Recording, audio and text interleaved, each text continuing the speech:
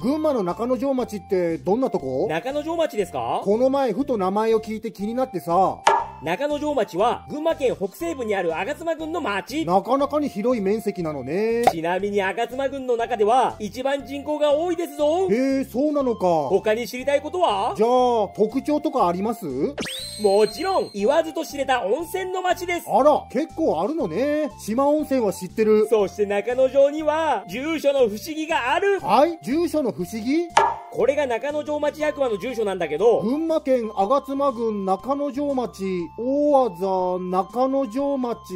え、ちょっと待って。そう、中之条町が2つあるのだなにこれ？でさ、この大技って省略されることがあるじゃん？まあ、そうですね。省略したら、中之条町中之条町ですよ何そのエンドリケリエンドリケリみたいな。いや、懐かしいな。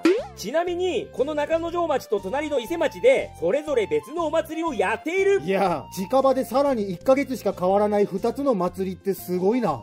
もちろん楽しいスポットもたくさんありますよ。台湾料理屋さん入ってますけど。中之条町、どうですか？いやー、かなり気になる存在になってきましたよ。お、そしたらもっと知るために、中之条の歌を覚えましょううわー、何それー